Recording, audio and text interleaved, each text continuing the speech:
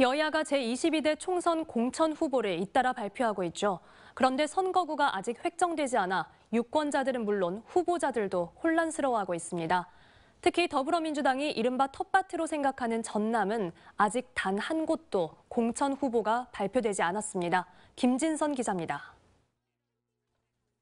지난 6일 제22대 총선 후보자의 1차 공천 심사 결과를 발표한 더불어민주당.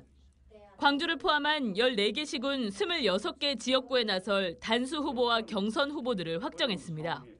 선당 구사의 정신으로 아름답게 승복하시고 민주당의 승리를 위해서 최선을 다해 주시길 바랍니다. 현재까지 민주당의 공천 심사 발표는 모두 3차례. 단수 공천은 47곳, 경선 지역은 38곳으로 모두 84개 지역구의 대진표가 완성됐습니다. 하지만 전남은 선거구 획정이 유동적이라는 이유로 발표에서 제외시키면서 그야말로 깜깜이 상황입니다. 앞서 전남 동부권 의석을 한 석 늘리고 전남 서부권 의석을 한 석 줄이는 방안을 제시했던 선거구 획정위원회.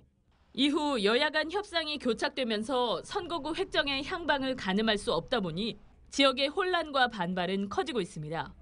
지연되는 것도 문제지만 획정안이 그대로 유지되면 전남 동서간의 불균형 심화는 물론 지역 소멸 위기를 더 가속화할 것이라는 우려도 나오고 있습니다. 농사노촌의 대표성, 지역의 균형 발전, 그리고 최, 선거구 조정의 최소의 원칙에 부합하는 공정하고 합리적인 선거구 획정안이 조속히 더불어민주당이 전남 지역 공천을 미루는 것을 두고 선거구 획정만이 이유는 아니라는 말도 나오고 있습니다.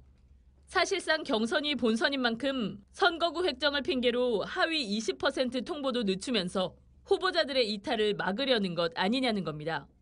여야는 오는 29일로 예정된 임시국회 본회의를 선거구 획정의 1차 마지노선으로 잡고 있지만 역시 불투명한 상황입니다. MBC 뉴스 김진선입니다. 언제 어디서나 내 손 안의 뉴스. 광주 MBC 뉴스 유튜브 구독으로 함께하세요.